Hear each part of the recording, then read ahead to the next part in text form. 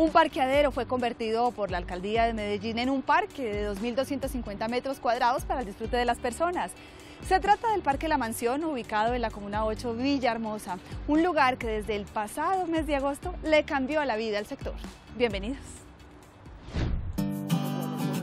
Este cambio con el parque fue espectacular, pues una belleza. Esto se, volvió muy bonito porque es el, el mirador, las, las barandas que pusieron.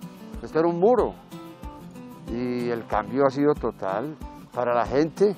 Ya viene más gente acá, se siente, pusieron las banquitas. Incluso aquí a las 7 de la noche cuando estaba el lote tal, no, no pasa nadie por aquí. Y ya la gente viene a las 4 de la tarde, aunque haya la lluvia. La gente se para acá a divisar hacia el frente, toda la panorámica. Ha sido de, de gran ayuda y quedó muy bonito, embelleció el sector. Ha sido un lugar de encuentro. Pues eh, normalmente yo vivo aquí hace más de 20 años y no había un espacio para que eh, de reunión, para que los niños pudieran juntarse a jugar en las tardes de un viernes, que los chicos montaran en patineta, que los ancianos o las personas de la tercera edad pudieran estar en un sitio juntos. Pues la verdad me gustó mucho el parque porque es un espacio para yo poder relajarme. Yo aquí vengo con mi primo, mi prima, mi hermano y venimos a sacar los perros. También me parece muy bueno porque antes los niños ya no podían jugar por acá porque era muy peligroso y pues ahora ya tienen un lugar para venir a jugar. Está más iluminado porque esto antes era muy oscuro y está mucho mejor que antes. ¿Quién no quiere tener una vivienda digna? La alcaldía de Medellín avanza en su meta de mejorar las condiciones de 19 mil viviendas de los estratos 1, 2 y 3 para el cuatrenio. La de la familia Carvajal ya es una realidad. Ellos nos cuentan cómo ha mejorado su calidad de vida. Mi casa primero era en cemento, no teníamos con qué arreglar la casa porque mi esposo gana un mínimo y entonces la plata no alcanza. El cemento estaba muy huecudo, más que todo acá en el pasadizo. Entonces la niña a veces se lisaba, se aporreaba, se caía, se raspaba. El subsidio es de 13 millones 146. Yo pedí que me arreglaran el techo del comedor porque no tiene tablilla, pero ellos me dijeron, me dieron una sugerencia que el techo no porque el techo es muy costoso, que entonces que era mejor que embaldosara toda la casa, organizara la cocina y las escalas que hasta ahí me daba el subsidio que ellos dan.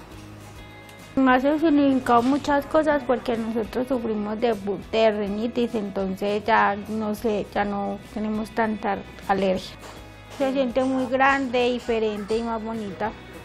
Nos ha transformado la vida de esta manera, que ya vemos la casa más bonita, uno la arregla y no se ve como si no estuviera organizada. Entonces nos ha traído muchas bendiciones.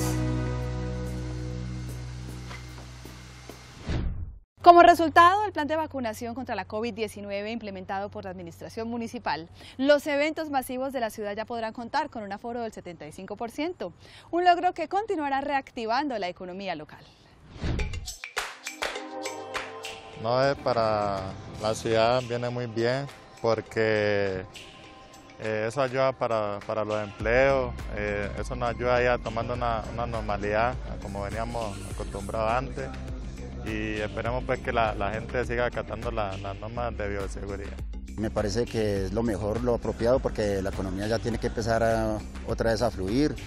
Y, pero sí invitar a muchas personas que no quieren vacunar a que se vacunen, porque si no, esto vuelve y se cierra. Discotecas, teatros, eventos deportivos y centros de eventos son los espacios beneficiados con esta decisión es un gran espaldarazo para el proceso de reactivación económica que ha tenido la industria del entretenimiento nocturno en la ciudad. Recorrer los camerinos y llenar las butacas. Bueno, estamos muy contentos con la ampliación del aforo al 75%. Es que eh, hacía falta que la gente pudiera acercarse al teatro. Gracias a toda la gente que ha participado en la gestión para que todo esto sea posible, porque estamos muy contentos con la ampliación del aforo.